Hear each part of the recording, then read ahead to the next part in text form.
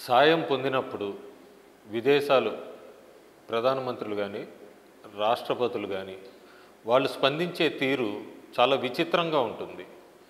ఉదాహరణకి బ్రెజిల్ అధ్యక్షుడు బొల్సనారో మన భారత ప్రధానమంత్రికి ధన్యవాదాలు తెలుపుతూ చాలా సున్నితంగా ట్విట్టర్ ద్వారా స్ప స్పందించారు.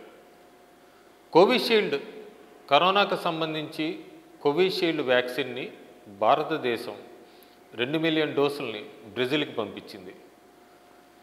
ఆనందాన్ని వ్యక్తం చేస్తూ బ్రెజిల్ అధ్యక్షుడు బోల్సనారో చిత్రమైన ఒక కార్టూన్ ట్విట్టర్ ద్వారా మన భారతదేశ ప్రధానమంత్రి మోడీకి పంపారు. అదేమిటంటే హనుమంతుడు కోవి కోవిషీల్డ్ని బ్రెజిల్కి తీసుకొస్తున్నట్టుగా. ఇప్పుడు ఈ చిత్రం అందరిని ఆకట్టుకుంటోంది.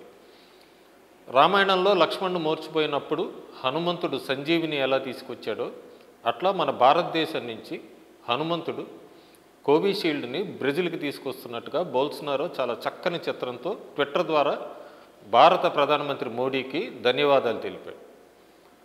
మనందరికీ తెలుసు ప్రపంచంలో అతిపెద్ద ఔషధి తయారీ మన భారతదేశమే. మన భారతదేశం కోవాక్సిన్ కోవిషీల్డ్ని విదేశాలకి ఎగుమతి ప్రారంభించింది.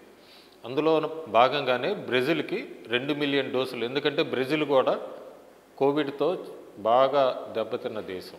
కోవిడ్ పాండమిక్ని బాగా ఎదుర్కొన్న దేశం. అందుకని ప్రతిఫలంగా మనం కోవిషీల్డ్ వ్యాక్సిన్ని రెండు మిలియన్ డోసుల్ని భారతదేశం పంపించింది.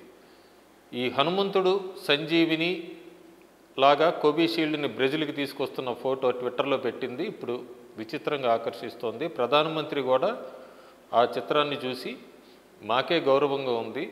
బ్రెజిల్ భారత్ పరస్పరం ఆరోగ్య విషయంలో ఇలాంటి విషయాల్లో సహకరించుకుందాం అని చెప్పి ట్విట్టర్ ద్వారా ప్రధానమంత్రి మోడీ కూడా రిప్లై ఇచ్చారు.